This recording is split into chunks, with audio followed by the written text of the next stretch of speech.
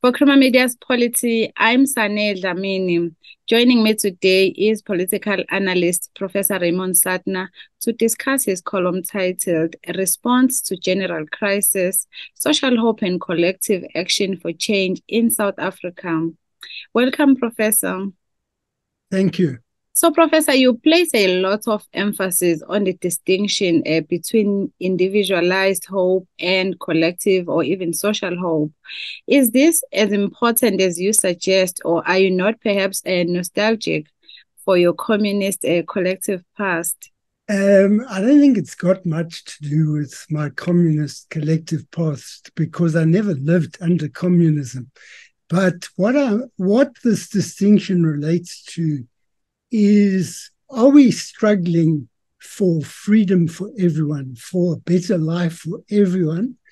Or is it a question of having jobs, income that allows some of us to lead a better life? For example, if you are more wealthy, you can put your children in a private school.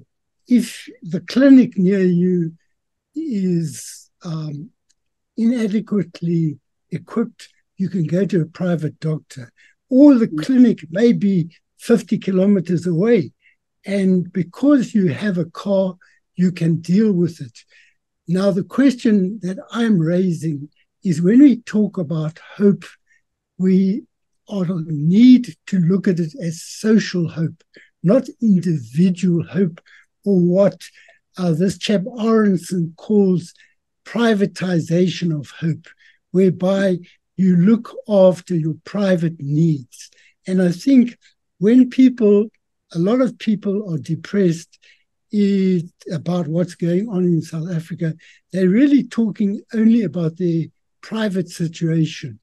We mm. need to be looking at the society as a whole. When I write, I'm not writing about my private situation my private situation is much better than very many people in the country, but I'm aware of the fact that there are a lot of people who are starving, who, you know, they're not declared to be starving, but we've, I've mentioned it in previous columns how at least two women are reported to have killed her children and herself because they didn't have food and she didn't have money for food. And this is part of the scandal that is post apartheid South Africa. You also argue for a collective social movement, but uh, recognize that there have uh, been negative experiences uh, with the former USSR and liberations movement like the African National Congress. So, how does one find or establish uh, such a movement, Professor? You know, the number of reasons. We have to look at what were the reasons why uh, such movements were not successful. And Aronson refers to a situation where the collective need or collective was treated as a way of erasing the individual needs. We need to get, if we build a new collective movement, we have to understand what is the relationship between the collective aspirations and the individual needs that each of us has that may, in some respects, be unique.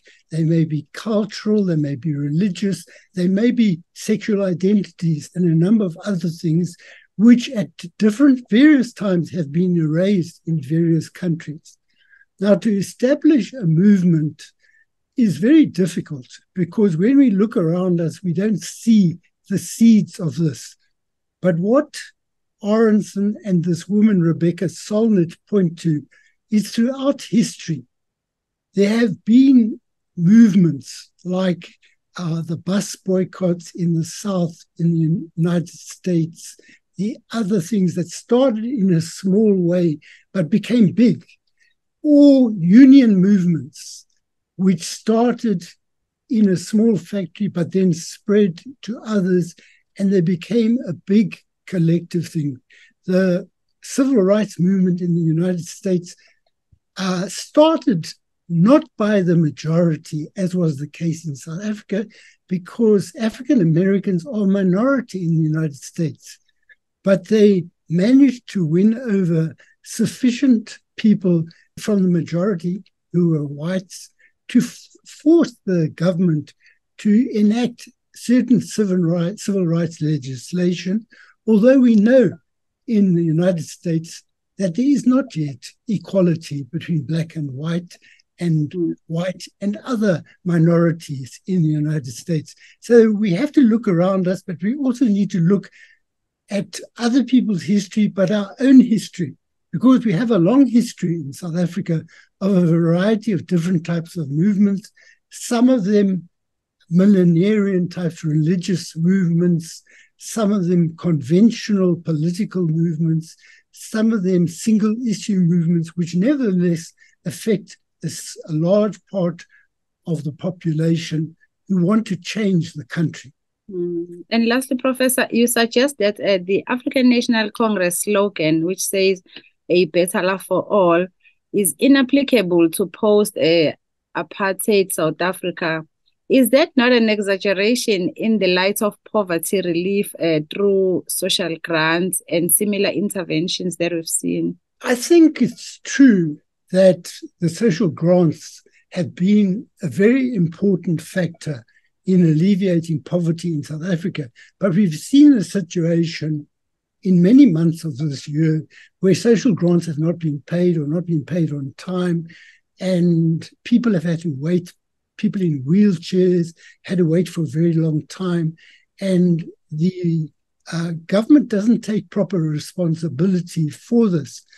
But even with social grants, we know people are hungry, people are without homes, people are living in the streets or under bridges or things like that.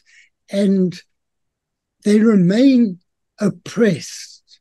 It's not oppressed by white South Africa, but the, the experience is one of oppression where their basic needs are not met. Their, the unemployment level is not 37%, as some of the media say, it's 37% plus that 15 to 20% or more who have given up looking for work, who are not counted in that figure, but they should be counted because they are, in fact, unemployed. So there's a lot of inequalities in this country, and those on the wrong side of inequality are actually hungry. And suffer other privations. They don't have proper clothing, proper health care, uh, enough uh, to eat, and they don't have prospects of it getting better. That was political analyst Professor Raymond Suttner speaking to Creamer Media's Polity, discussing his column titled Response to General Crisis, Social Hope and Collective Action for Change in South Africa, Part 1.